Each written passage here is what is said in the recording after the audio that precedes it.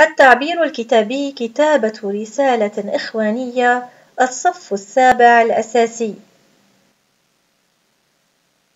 أردت أن أكتب رسالة إلى صديق عزيز لي ليشاركني في رحلة تخييم إلى أحد جبال لبنان الجميلة.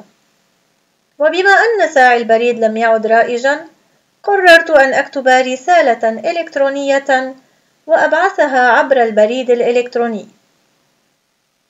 ما هي عناصر الرسالة؟ ألف مكان الإرسال وتاريخه. باء اسم المرسل إليه. جيم التحية. دال المقدمة. هاء جسم الرسالة أو متن الرسالة. واو الخاتمة ودباجة الختام. زاي اسم المرسل. حاء التوقيع. كيف أبدأ بتدوين الرسالة؟ أولاً يجب أن أدون في أعلى يسار الصفحة مكان الإرسال وتاريخه.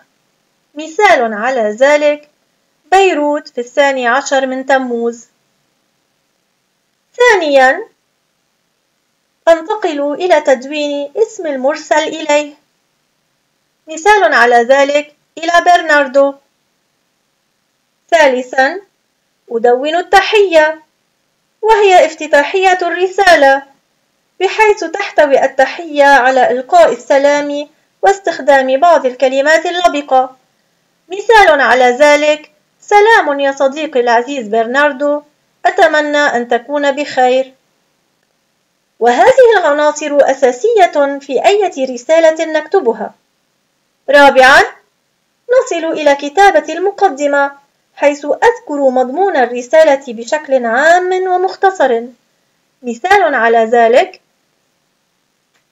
أجدها فرصة سعيدة أن أعبر لك عن مدى شوقي لرؤيتك وزيارتك القريبة في بشر. لقد وضعت خططا كثيرة لنتسلى سويا.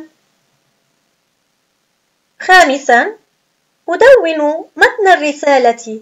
حيث أذكر الهدف الأساسي من تدوين الرسالة. مثال على ذلك تعلم يا برناردو مدى حبي للطبيعة وتعلقي بها ومع انتهاء العام الدراسي أجدها فرصة لخوض المزيد من المغامرات مع أقرب صديق لي. سأخطط للرحلة وأجهز معدات التخييم فما عليك سوى أن توافق على هذه المغامرة. طبعا ليس من الضروري تذكيرك بالملابس الدافئة ليلا. عندما سنفترش الأرض لنراقب النجوم. سادسا تأتي الخاتمة. مثال على ذلك سأنتظر ردك على رسالتي بشوق لأعرف منك إذا كنت موافقا على ذلك. تمنياتي لك بيوم مليء بالنشاط والفرح.